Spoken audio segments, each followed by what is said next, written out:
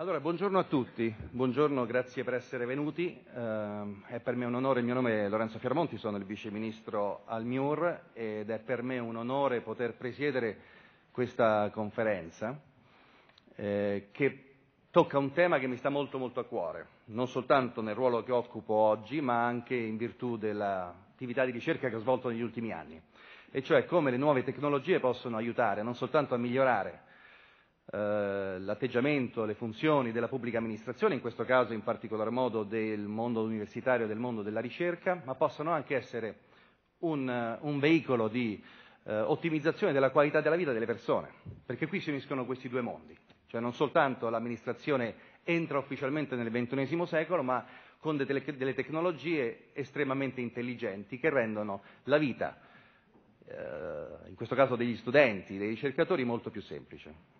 Allora, di che cosa stiamo parlando? Stiamo parlando della presentazione di un, uh, di un progetto che prevede, eh, organizzato dal CIMEA e i tecnici ve ne parleranno in maniera più dettagliata dopo la mia introduzione, che prevede la possibilità, già in Italia, uno dei paesi leader dello European Qualifications Passport for Refugees, di utilizzare una tecnologia che voi già conoscete, basata sulla blockchain, quindi su un sistema orizzontale di certificazione, in questo caso dei titoli di studio, per fare in modo che tutti ovviamente, ma in particolar modo coloro che non hanno la possibilità di ricostruire in maniera lineare il proprio percorso di formazione, le, queste competenze le vengano riconosciute non soltanto in Italia, ma una volta che sono riconosciute in Italia siano valide in automatico per tutti i paesi che sono all'interno di questa rete, di questo consorzio. Questo è fondamentale per coloro che oggi vengono in Italia come rifugiati, che in molti casi hanno delle competenze significative. Molto spesso il dibattito italiano si fossilizza sul problema dell'immigrazione, sul fenomeno dei rifugiati come se fosse una minaccia. Io invece lo ritengo non solo ovviamente una sfida, sia per chi parte che per chi riceve, ma anche una grande possibilità di crescita e di sviluppo intelligente del nostro Paese. Oggi arrivano in Italia tantissime persone, spesso i giornali non ne parlano, che hanno delle grandi capacità, delle grandi conoscenze, spesso sottoutilizzate. E noi sappiamo che in gran parte del mondo in realtà lo sviluppo sostenibile, la capacità di investire sul capitale umano è ciò che fa la differenza tra un'economia che funziona e un'economia che non funziona. E quindi noi abbiamo non soltanto l'obbligo morale, ma anche dobbiamo avere la capacità intellettiva ed innovativa di saper utilizzare al meglio le competenze che vengono nel nostro Paese. E quindi cosa accade? Accade che oggi il CIMEA è nelle condizioni di poter ricostruire il percorso formativo di un rifugiato, inserirlo all'interno di una rete che diventa non solo comune, ma che diventa un portafogli nelle mani della persona stessa, e quindi questo sarà allargato, viene già allargato a tutti gli studenti, non soltanto ai rifugiati, ma in particolar modo per i rifugiati ha un'importanza specifica, per l'incapacità, come ho detto, di ricostruire in maniera lineare il percorso formativo, e a quel punto queste persone non solo sono in grado di far valere la propria formazione e dire io so fare queste cose, oggi c'è qualcuno che me lo certifica, ma quando si muovono, si spostano nel nostro paese o anche fuori dal nostro paese, come vi racconterà eh, un nostro studente che sta facendo l'Erasmus ora a Barcellona, sono nelle condizioni di poter far valere il, por- il, proprio percorso formativo, la propria certificazione e non avere quei problemi che per esempio ho avuto io quando ero un giovane studente, che andava in giro per il mondo, continuamente mi dovevo portare appresso tutte le certificazioni, dovevo andare da un traduttore che mi traduceva, che metteva il timbro che poi andava nella Qualifications Authority del paese ospite e dopo qualche mese, se non qualche anno, mi veniva riconosciuto il valore dei miei titoli di studio. Questo non solo mi bloccava la mia capacità di fare, nel mio caso, ricerca, ma allungava i tempi e anche diminuiva la capacità del paese ospite di utilizzare le competenze che io mettevo a disposizione.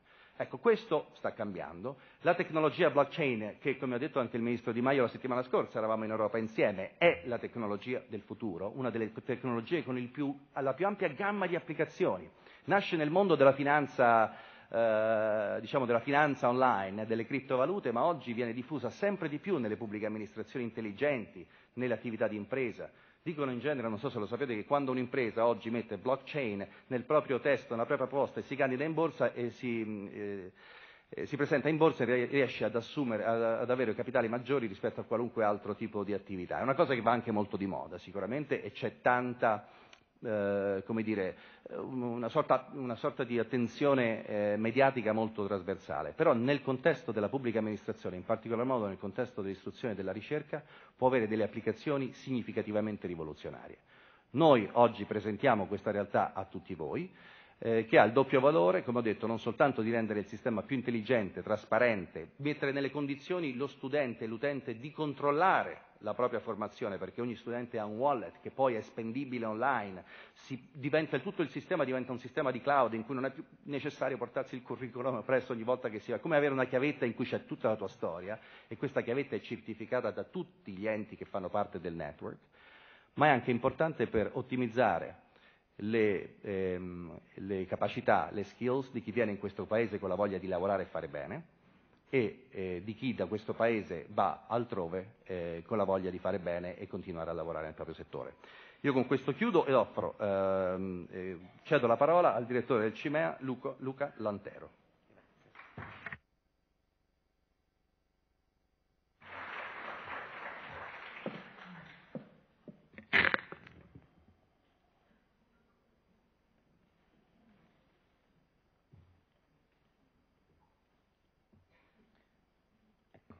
Buongiorno a tutti, grazie Vice Ministro, grazie a tutti i presenti. Eh, mi chiamo Luca Lantero, dirigo il CIMEA, Centro di Informazione sulla Mobilità e le Equivalenze Accademiche, eh, e oggi vi parlerò di due aspetti innovativi per i quali l'Italia è leader in ambito internazionale. Eh, il primo tratta della valutazione e riconoscimento dei titoli di studio senza documentazione o senza adeguata documentazione che ovviamente è una, una, parte molto innovativa e metodologicamente innovativa della valutazione dei titoli. Pensate a chi non può produrre documenti, come è possibile valutare eh, i titoli che ha acquisito. E la seconda appunto è tutta la tecnologia blockchain applicata a questo settore.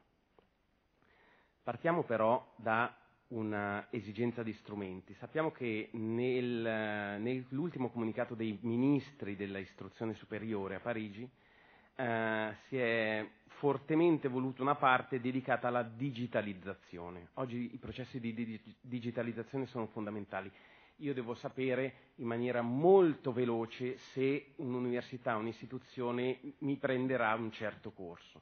Perché? Perché c'è competitività, perché abbiamo bisogno di genuine student, perché vogliamo gli studenti migliori e quindi far aspettare tre mesi per sì ti dirò se mi porti legalizzazione, eh, certificazioni, timbri e eh, traduzioni oggi eh, è una problematica molto seria, tenendo presente che eh, con i dati statistici dell'UNESCO eh, un terzo della popolazione nel 2050 arriverà dal continente africano e la domanda di ingresso all'higher education, alla formazione superiore, sarà più 140%, nelle altre regioni del mondo, in Europa ci settiamo al 36%. Significa che da qui a dieci anni, per sopravvivere, le nostre istituzioni, come stanno già facendo, dovranno attrarre studenti da fuori Europa, eh, con tutte le complicazioni del caso. Eh, troviamo anche una raccomandazione del Consiglio dell'Unione Europea dove eh, esplicitamente parla nell'ambito di education di esplorare la tecnologia blockchain. Eh, e poi abbiamo un, un articolo, l'articolo settimo della Convenzione di Lisbona, che è l'unico strumento internazionale sul riconoscimento dei titoli, che eh, ratificato la, eh, con, um, tramite la legge 148 del 2002, dove viene detto esplicitamente che bisogna, ogni paese firmatario deve trovare delle soluzioni al fine di riconoscere o valutare eh, quelli, i, i titoli eh, di rifugiati o titolari di protezione internazionale anche in assenza di documentazione. Tenete presente che un altro punto che non si conosce nella normativa è questo articolo, il 3 bis dell'articolo eh, scusate, il, il, comma 3 bis del decreto legislativo numero 18 del 21 febbraio eh, 2014, dove eh, viene detto che anche in assenza di certificazione, ogni pubblica amministrazione italiana deve giungere alla valutazione dei titoli in possesso di rifugiati. Tenete presente il fatto di scuola, regioni, eh, riconoscimento professionale per professioni regolate, eh, università e appunto l'ambito universitario è il più avanzato da questo punto di vista, con le soluzioni che vi farò vedere. Eh, nella procedura di immatricolazione eh, prodotta dal MIUR ovviamente si, si invitano le, le, università a porre in essere tutte le procedure e i meccanismi per la valutazione di tali titoli in possesso di titolari di protezione internazionale. Um, gli attori ovviamente in questo caso sono il MIUR, la conferenza dei, dei, dei rettori, le singole istituzioni, il CME e le pubbliche amministrazioni. Noi vogliamo, eh, come dire, come come mission del CIMEA, ma anche come strategia di paese, attrarre studenti di qualità, i cosiddetti genuine student, cioè ci interessa attrarre studenti che abbiano le capacità non solo di entrare in un corso, ma di portarlo a termine. Seconda, la, il secondo punto che ci, mi sentite? No? Scusatemi. Il secondo punto è che dobbiamo valutare in una maniera chiara, trasparente e automatica. Significa con meno eh, dispendio di, da parte dello studente tempo e anche denaro nella, nella produzione di documenti e quindi arrivare a una valorizzazione e un riconoscimento immediato e automatico delle qualifiche. Tenendo presente che dobbiamo anche combattere il fenomeno delle falsificazioni, che oggi si aggira come documenti accademici intorno al 3%. Ci sono il 3% di documenti accademici che vengono presentati all'università che sono falsi o falsificati. Parliamo non solo di il titolo finale, che può essere vero, ma di contraffazione di un voto, contraffazione di una lettera di presentazione del docente, eccetera, eccetera. Um, come valutazione di titoli di rifugiati, il CIME ha iniziato nel 2016 come uno dei primi centri a svolgere una metodologia di valutazione senza eh, produzione di documenti, eh, che poi vi spiegherò, con 85 attestati rilasciati nel 2016, 89 nel 2017 e 63 attestati nel 2018. Con questi attestati le persone sono andate direttamente all'università e si sono iscritte. Tenete presente che la metodologia è oggettiva, significa che noi abbiamo ricevuto, ad esempio nel 2018, non 63 richieste, abbiamo ricevuto 150 richieste, ma siccome la metodologia è simpatetica a una situazione una persona è titolare di protezione internazionale non ha i documenti, ma è oggettiva, non tutti hanno i titoli per fare l'università, come succede ogni, con gli altri paesi, con gli altri studenti. Quindi abbiamo rifiutato una parte di, eh, di studenti che non avevano i titoli adeguati per l'ingresso ai nostri corsi. Qui trovate i paesi di, di riferimento rispetto ai titoli valutati, e ehm, abbiamo anche un esempio dell'European eh, Qualification Passport for Refugee. Eh, L'Italia è stato uno, il primo paese insieme a, due anni fa a Norvegia e Regno Unito ehm, ad essere chiamato dal Consiglio d'Europa per il rilascio di questo passport eh, per i titoli dei rifugiati con un panel internazionale che andava a fare interviste e verificava direttamente le qualifiche eh, e le competenze delle, dei rifugiati. Tenete presente che quest'anno è partita la sperimentazione del PAS in Italia, abbiamo iniziato ad avere le, il primo round di, di, interviste a Cagliari e Sassari a luglio, andremo adesso tra Torino e Milano con gli atenei di, paesi, di quelle città a novembre e poi avremo un altro round ancora da decidere in centro-sud o nord-est per eh, la valutazione di titoli di rifugiati. La metodologia valutativa ovviamente si basa sempre su qualcosa di oggettivo. Se prima ci basiamo su dei documenti, adesso ci basiamo su dichiarazioni, possono essere dal, dal rifugiato, e competenze. In realtà valutiamo sempre qualcosa. Um, la metodologia è molto semplice, abbiamo sviluppato un questionario molto complesso chiediamo al, al ragazzo e al, al, al, rifugiato, dove deve ricostruire il background scolastico e universitario. Um, noi chiediamo ai nostri valutatori di farlo, io l'ho fatto, mi sono laureato nel 2004, ho provato e ovviamente non mi ricordo tutti i nomi dei miei professori, tutti i nomi dei libri di testo, ma non è un problema, anzi è importante che lo faccia in autonomia perché anche gli errori o cosa penso di sapere su un sistema può essere interessante. Tenete presente che chi è scolarizzato, chi ha fatto l'università in un certo paese lo si capisce. Ci sono degli elementi molto chiari, noi abbiamo un, un, contatti con tutti i ministeri al mondo, anche nei paesi dove i ministeri che si occupano di istruzione superiore sono diversi, ehm, a seconda di provincia o regione, e in questo modo riusciamo a eh, ottenere le informazioni vere. Vi faccio un esempio molto mh, mm, semplice. Se chiedessero a un mio compagno di corso eh, che una, una, certa notizia sulla mia università eh, eh, o un certo giudizio, come dire, non, e io dovessi valutarlo, capirei immediatamente che cosa, il, lo statino ad esempio. Che cos'è lo statino? Solo chi, la normativa non parla dello statino, ma chi ha fatto l'università conosce bene questo termine in Italia. Ecco, ci sono termini o delle, degli elementi in tutti i paesi, elementi che sono così ovunque. Quindi quando noi valutiamo il questionario scritto dallo studente capiamo se veramente ha frequentato o meno quella, quella istituzione. Il questionario ha domande sia di materie ma anche domande molto pratiche. Eravate divisi tra uomini e donne? Avevate delle divise? Eh, quali erano gli orari? Hai fatto dei, delle esperienze all'estero?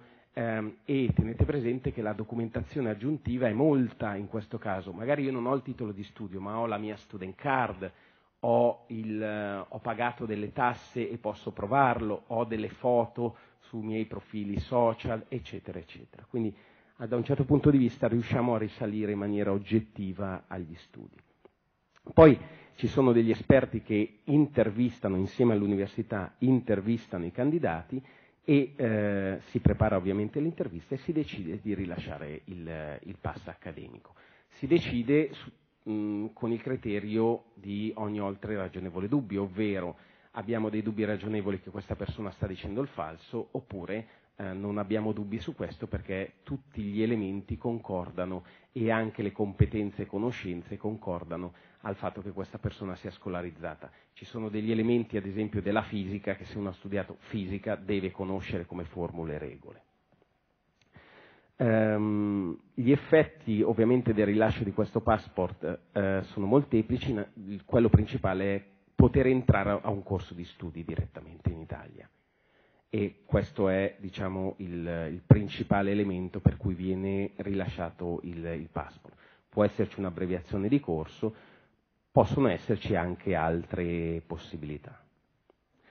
Eh, passiamo velocemente a blockchain. Il CIMEA ha uh, inventato il servizio diplomi, ovvero il mio diploma, lanciando questo, questa campagna Blockchain for People, eh, utilizzando il blockchain come tecnologia dedicata alla persona. Che cos'è questo ehm, diplomi? È un portafoglio personale, quindi tut- siamo GDPR compliant, quindi non abbiamo problematiche di privacy perché il padrone dei dati sono io, dove io posso caricare tutte le mie qualifiche, anche già ottenute, ehm, in una maniera sicura e posso dare gli accessi e i permessi di, di vederle come portabilità rispetto agli altri a, a, a datori di lavoro, a, ad altre università dove voglio iscrivermi. Lo strumento è in grado di avere una portabilità delle qualifiche, siamo i primi ad oggi ad avere, a utilizzare questo strumento e la blockchain in ambito di valutazione di titoli perché affidiamo ad ogni qualifica un um, livello internazionale secondo dei parametri che possono essere l'European Qualification Framework, eh, l'ISHED o altri parametri internazionali, così la qualifica è chiaramente identificabile se si tratta di titolo finale eh, di scuola secondaria, qualifica di primo, secondo, terzo ciclo. Eh, e quindi è riconoscibile, più facilmente riconoscibile. Um, ovviamente la blockchain è interessantissima per un punto. Pone un dato immodificabile, immutabile su internet online. Questo dato non sarà più mutabile e nel nostro settore è fondamentale per evitare le frodi o i titoli fasulli. Voi pensate uno studente che debba mettere il proprio titolo e pensare che quel titolo, se lo mette come falso, sarà riconosciuto come falso sempre. Crea una fiducia nello strumento molto interessante. Oppure una, un, un'istituzione che rilascia un titolo, come è capitato, lo sapete molto bene, eh, sulla base di corruzione e quindi si scopre poi che questo titolo è annullabile. Questo è un punto molto interessante. È vero che il dato è immutabile, non vuol dire che il dato sulla blockchain sia vero. La certificazione è data dall'ente certificatore che pone il dato, l'università, o dallo studente stesso che poi se lo fa certificare, ad esempio, dal MIUR o da un altro Ateneo. Se un dato è immodificabile non vuol dire che adesso non possa essere agganciato un altro dato. Ad esempio, Luca Lantero prende un titolo rilasciato sotto frode da un'università riconosciuta, glielo viene dato, viene scoperto dopo tot anni che questo titolo era falso e si metterà un altro dato immodificabile. Quel titolo ottenuto era falso. Quindi risolviamo anche questa problematica. Eh, si può applicare a tutti i settori specifici di riferimento per noi, ad esempio la direttiva sulla libera circolazione dei professionisti. Pensate al riconoscimento degli insegnanti, degli ingegneri, degli avvocati, dei medici, tutte le dichiarazioni che dovete fare. Se viene posto direttamente dall'ente certificatore la professional license, non abbiamo più problemi di verifica di questo. Ovviamente abbiamo la, una interoperabilità del sistema, poi ehm, il rappresentante di Agit, Pietro, ci spiegherà molto meglio questo, questa parte, la sicurezza delle informazioni che sono immutabili, eh, il fatto che io ehm, avrò una ovviamente minimizzazione dei costi e anche del time consuming e un ecosistema eh, molto molto, ehm, diciamo, un ecosistema che si creerà rispetto ai titoli. Concludo ehm, ricordandovi che il sistema è pienamente conforme al GDPR, ha il diritto all'oblio perché daremo delle password, se tu perdi la password i tuoi dati sono cancellati, nessuno potrà più accedervi ed è basato assolutamente su un trust molto molto interessante perché se il dato è immutabile mettere un falso mi condannerà a vita. Eh, concludo e vi ringrazio.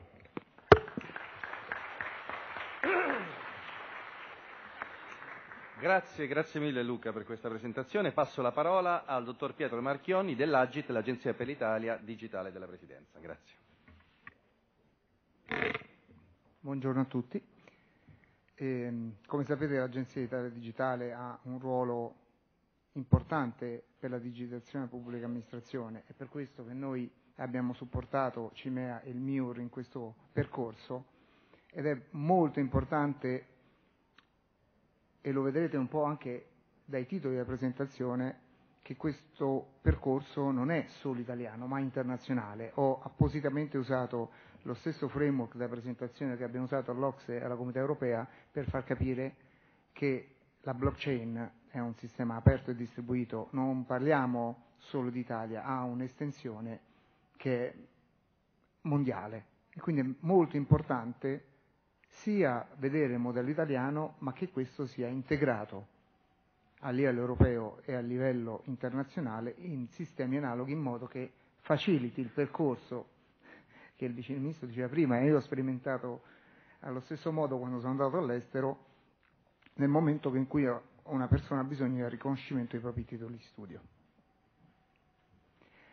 Dove ci troviamo? Io cerco di fare una presentazione semplice ma abbastanza mh, legata all'ecosistema Italia. Sapete che l'Italia ha un, un piano triennale che guida sotto certi punti di vista la digitalizzazione pubblica amministrazione e il percorso che è stato fatto dal MIUR e da Cimea è esattamente congruo e all'interno del piano triennale perché nel, nella stratificazione che vedete sul lato sinistro dove ci sono tutti i livelli che noi prevediamo per la digitalizzazione, noi stiamo parlando di ecosistemi. Dentro questi ecosistemi ce ne sono molti, non li elencai tutti, sarebbero in quel piccolo quadratino giallo, però quelli che noi abbiamo portato per esempio all'Ocse e alla Comunità Europea sono quelli che abbiamo visto a destra e il più avanzato è quello che è stato sviluppato qui da MIUR e da CIMEA ed è stato riconosciuto anche a livello internazionale per questo. Quindi non stiamo creando in questo contesto un silos, ma stiamo creando un sistema che è completamente congruo con quello che è il percorso di digitalizzazione della nostra nazione. Un po' di testo, come si esprime la nostra azione, perché Agit deve supportare questo. A livello italiano noi supportiamo, come vedete, la sperimentazione delle tecnologie, la blockchain, come diceva il Vice Ministro, anche dall'onorevole Di Maio è stata evidenziata come una delle tecnologie fondanti e il compito di Agit è accompagnare le amministrazioni in questo percorso, sempre nel concetto di ecosistemi. Secondo, a livello internazionale, l'Agid fa questo perché l'Europa anche sta seguendo lo stesso percorso. Considerate che la problematica che voi vedete non è solo quando andiamo all'estero pensato come dall'altra parte del mondo, ma anche in Svizzera, in Francia, proprio vicini. E loro hanno lo stesso problema quando vengono in Italia. Quindi tutte le nazioni europee sentono fortemente la problematica che qui è stata elencata. Ma questo non può andare, come al solito, in maniera disgiunta dalla normazione. Cioè, ci sono enti normazioni, in Europa c'è il CEN-CENELEC e in, in, internazionalmente c'è ISO o ITU. Questi enti, di cui noi facciamo parte e abbiamo la nostra rappresentanza, stanno lavorando alacremente a normare, e questo è un po' un controsenso, la blockchain non si normano le tecnologie, ma si norma l'uso della tecnologia, naturalmente, normare l'uso della tecnologia in modo che questa tecnologia sia veramente dia il vantaggio che prevede. Guardate, è strano, non è ancora definito cosa vuol dire blockchain. Se noi andiamo a chiedere a 10 persone, la pensano in 10 modi diversi. Quindi uno dei lavori più grandi di ISO è dire terminologia, cosa è la blockchain, cosa sono gli smart contract. Sembra una cosa banale, ma è una cosa complessa, perché noi dobbiamo parlare tutti la stessa lingua quando facciamo le cose, altrimenti andiamo in direzioni diverse. Lavoriamo così e Agid sta creando, insieme alla normazione europea, un documento in cui lo use case del MIUR è stato posto e verrà portato a livello internazionale che definisce cosa l'Europa pensa sulla blockchain e dove l'Europa vede come normazione che questa tecnologia possa essere più adattabile o adatta o adattata, perché è una tecnologia, è un, da- è, un errore tecnico dire che è un database, ma è come se fosse un database, non posso dire non confondiamo la blockchain con il bitcoin, è un database, mettiamola così per semplicità. Quindi non posso normare un database, però ne normo l'uso e quindi noi dobbiamo normale standardizzarlo. Ora, dove abbiamo portato il servizio diplomi? Lo abbiamo portato sia alla European Blockchain Partnership, che è stata, eh, grazie al cielo, l'Italia era l'unica nazione che era fuori e questa mancanza diciamo, è stata compensata dall'onorevole Di Maio, ed è il primo use case ufficialmente approvato dalla partnership. E in questo use case non ci sta solo l'Italia, ci stanno molte nazioni europee e se ne stanno aggiungendo altre, perché tutte sono interessate a questa problematica. E quindi stiamo parlando di una problematica che è sentita così tanto che questo use case è stato messo anche in maniera antecedente allo use case sull'identificazione delle persone, che è Self Sovereign Identity. Quindi è una cosa critica per l'Europa perché come dicevamo, c'è una carenza di passaggio, di, eh, mi viene più in inglese, di trasformazione, di movimento dei nostri giovani all'interno dell'Europa, che è quello che fa l'Europa unita. L'Europa non si unisce solo con le leggi, si unisce con il fatto che i giovani vanno in giro, scoprono, capiscono e tornano a casa e portano il bagaglio culturale che hanno portato con loro. Ma noi non siamo solo in Europa, siamo anche a livello extraeuropeo, con i nostri colleghi siamo andati all'Ocse, abbiamo presentato quello che l'Italia vuole fare e Diplomi è stato uno degli use case che hanno eh, riscontrato più interesse. Quindi a maggio lo, al, lo presenteremo allo standard di internazionalizzazione ISO, di standardizzazione, e il 21 maggio sarà presentato insieme al rappresentante della Commissione europea Quindi non sarà solo l'Italia che porta, sarà l'Europa che porterà questo use case a livello internazionale. Ora, le vediamo un po' più tecnicamente le caratteristiche chiave. Naturalmente siamo Europa, se non pensiamo al GDPR eh, non andiamo da nessuna parte, quindi è molto importante utilizzare tecnologie che ci permettono di rispettare questa, questo requirement che ci protegge. Non è un obbligo, non è un vincolo, non è un peso, è una protezione per tutti noi. Quindi supportiamola. Ci sono tecnologie molto avanzate che ci permettono di proteggere i dati in maniera sicura. Qua ho elencato, ne ho elencata una che si chiama Zero Knowledge Proof. Questa tecnologia permette di conoscere il contenuto di un dato senza conoscere il dato. È incredibile, è come se io potessi su tutto eh, il profilo persona a persona chiedere solo la data di nascita e non vedere altro, accedendo comunque a tutto il blocco dei dati. E questo è una cosa molto importante nel momento in cui voglio far vedere un mio certificato, ma non voglio far vedere altri certificati perché non interessano all'ente con cui io sto avendo a che fare. Poi ci deve essere, come abbiamo già detto, la garanzia del dato. È molto importante che il dato sia immutabile, anche se immutabile è un termine pericoloso, però è immutabile, quindi sicuro, e nella sua immutabilità è sicuro anche nel caso in cui sia stato falsificato. È molto importante il controllo sulla condivisione, anche il GDPR dice io voglio condividere i miei dati e voglio sapere che li condivido, con chi li condivido e quando li condivido. E non voglio che la persona che utilizza quel dato la utilizzi senza il mio permesso. La blockchain ci aiuta tantissimo in questo, perché ogni accesso può essere controllato in maniera, anche l'accesso in maniera immutabile. Quindi stiamo avanzando anche di un gradino.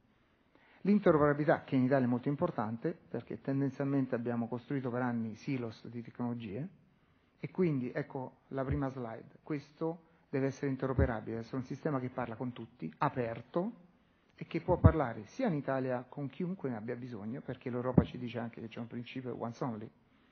Io sono andato poco tempo fa a rinnovare il passaporto, mi hanno chiesto la fotocopia del mio passaporto.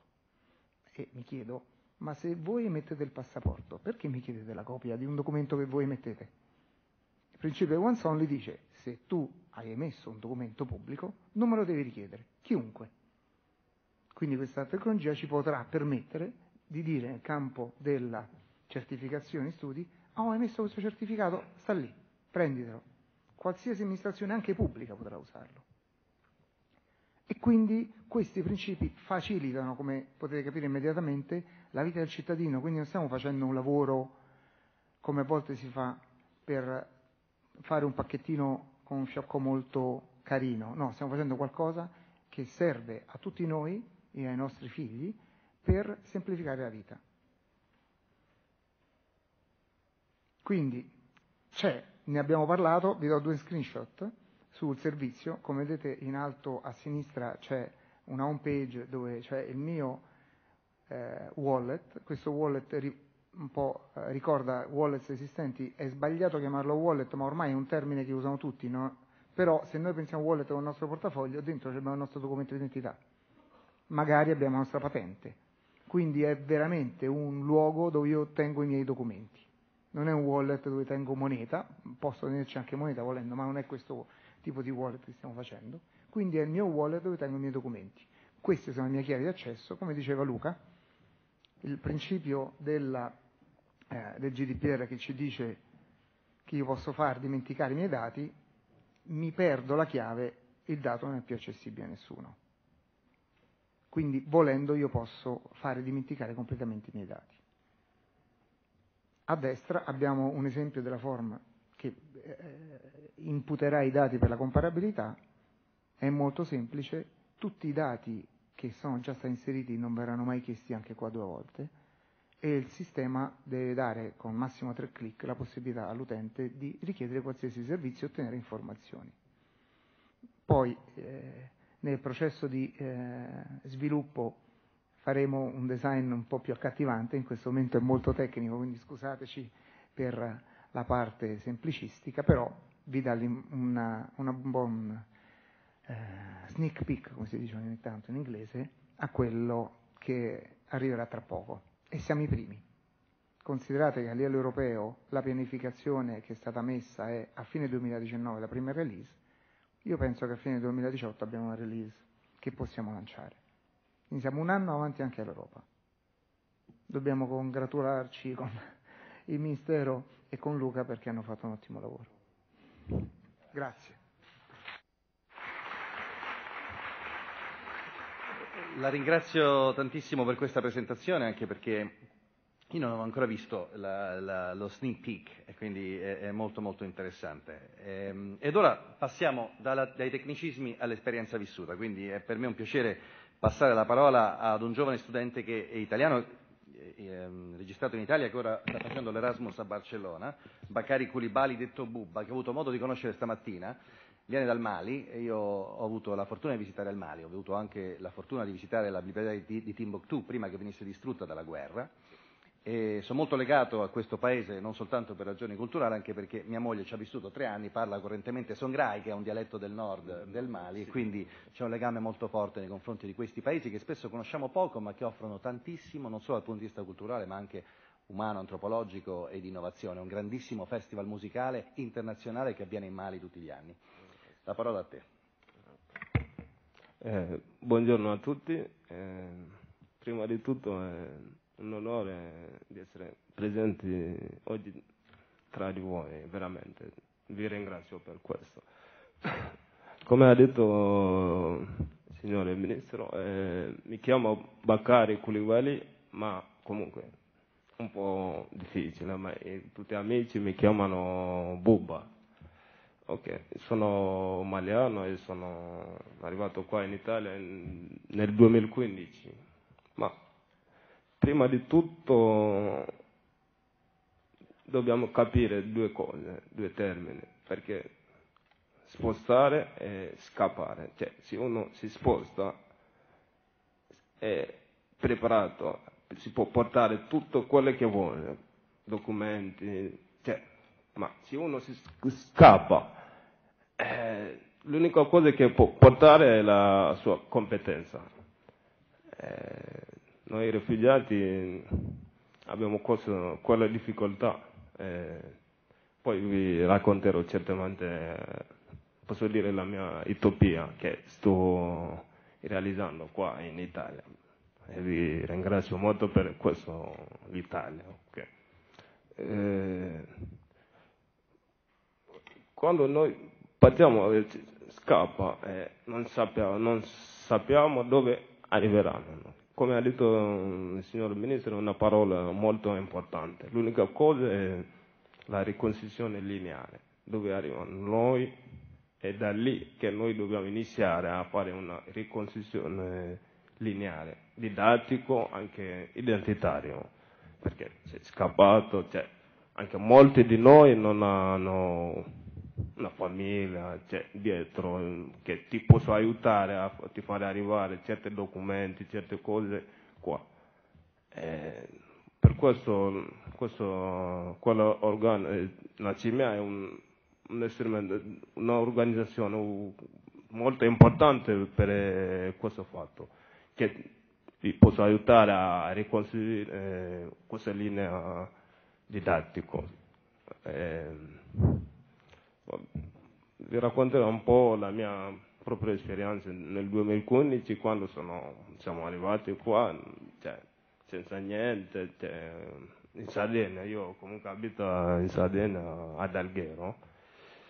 Per fortuna eh, ci vuole anche le persone mh, mm, giuste, come questa solidarietà dei cittadini, che è molto importante anche per noi, che con loro si può dare la fiducia. Eh, io ho incontrato con la professoressa dell'Università di Sassari mh, mm, a un compleanno, un suo compleanno, cioè siamo stati invitati lì e siamo andati.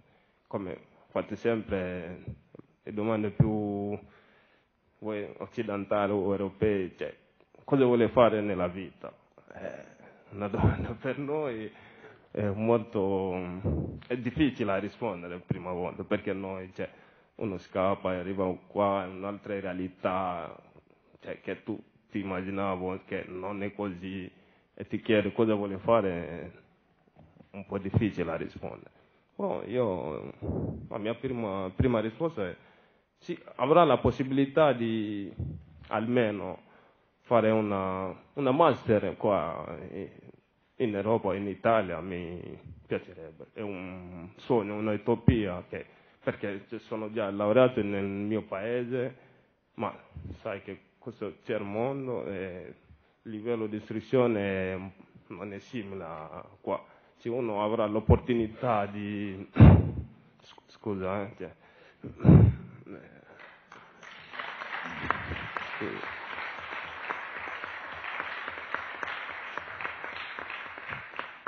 E per questo vi dico che è un'utopia che io sto realizzando in realtà, perché da, da lì, dai Mali, ho provato tutto per avere qualcosa legale, per venire qua in Europa, cioè fare quella master. Ma la burocrazia non, non è facile affrontare, non c'è... Boh.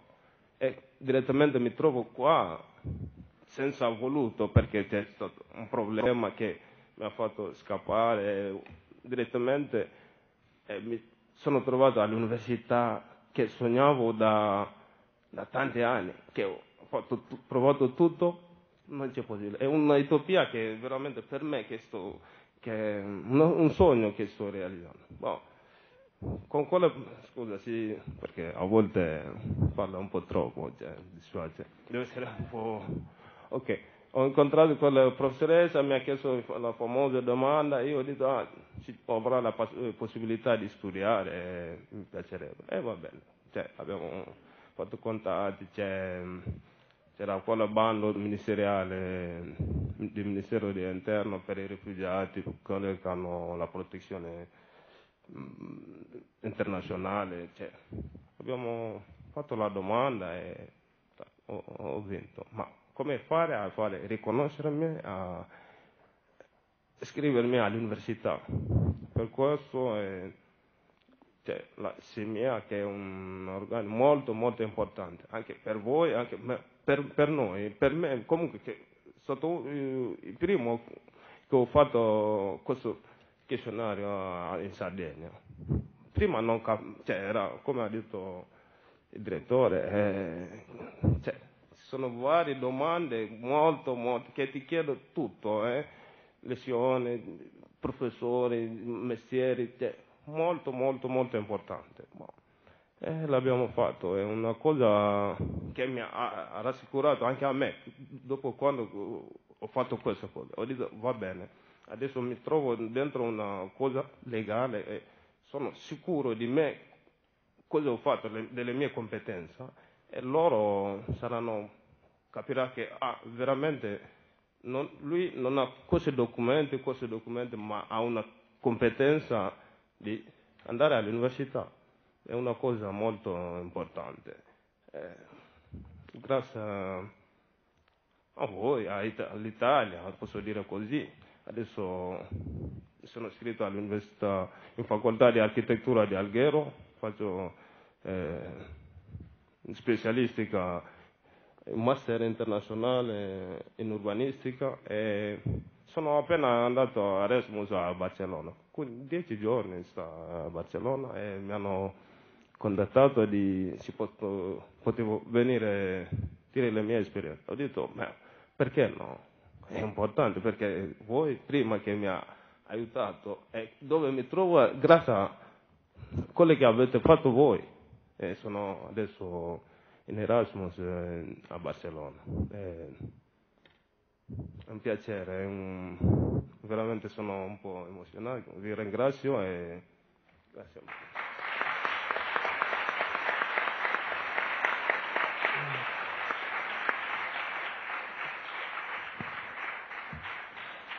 Grazie Buba, merci Buba. Um, e ora abbiamo un collegamento video con un altro studente eh, Abd- Abdel Fattah Mohamed, che è in Sicilia, non, potuto, non, ha potuto raggiungerci di persona, ma ci ha mandato un collegamento video. Possiamo mandarlo?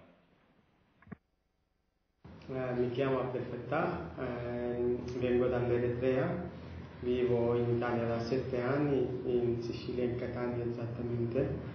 Eh, lavoro come mediatore culturale e, e un giorno mi sono andato all'Università di Catania per chiedere, perché per me era, non era logico che io sono rifugiato, vivo in Italia, non posso portare i miei documenti e solo per questo motivo non posso avere la possibilità per studiare, per me non mi convinceva, quindi sono andato all'università per dire io vorrei avere questa possibilità di studiare, non sapevo niente del passo accademico e, e, dopo loro mi dicono non, non, si può fare niente, è normale in tutto il mondo, eh, non si può fare niente chi non ha certificato, ma dopo sei mesi mi contattano, mi raccontano di questa esperienza del passo accademico che per me una cosa, era una notizia molto, molto bella. Cioè, mi hanno chiamato, mi hanno dato un appuntamento prima, mi hanno mandato dei moduli da compilare e, e erano dei moduli molto pesanti, che erano dei moduli in cui tu devi raccontare tutto il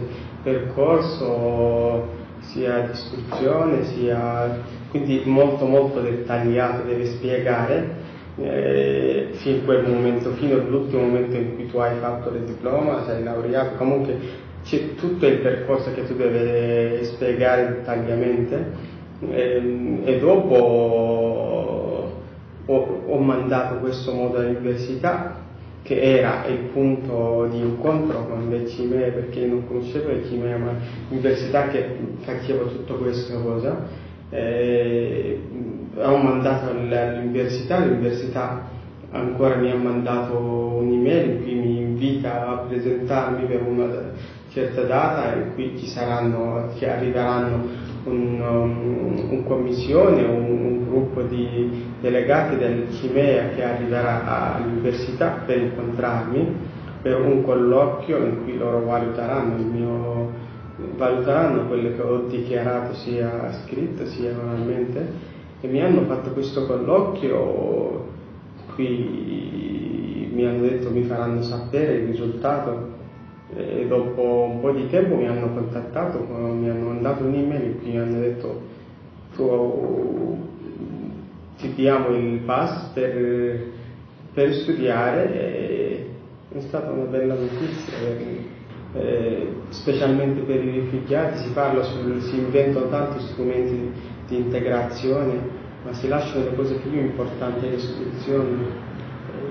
Per me il pass era un, uno strumento molto forte che mi poteva, già io ho fatto un percorso, ma anche per altre persone che non hanno fatto percorso, questo poteva essere un percorso di integrazione per, per tanti ragazzi che già sono laureati, sono studiati, hanno studiato questo poteva portarli all'interno della società e poteva presentarli in un modo molto dignitoso. È un modo anche di, rispetto per dire va bene, tu sei così, dimostra che poi ti diamo noi la possibilità, tu devi dimostrare se sei in grado o no.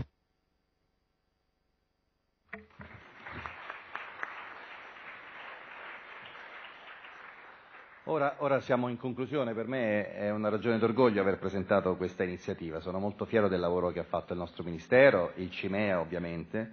Eh, torno a quello che ho detto inizialmente, è una questione di ottimizzare l'uso delle risorse che abbiamo, sia quelle finanziarie e tecnologiche e fare leva sulle grandi risorse umane che sono parte integrante della storia del nostro Paese e saranno sempre più significative nel futuro. Queste risorse possono venire da qualunque parte del mondo e come ho detto, eh, questo è il mio campo di studi, eh, le economie del futuro saranno quelle che sapranno fare meglio uso delle persone. In passato si parlava di risorse naturali, di risorse finanziarie, il futuro sarà sempre di più legato alla qualità delle persone che vivono in un determinato paese.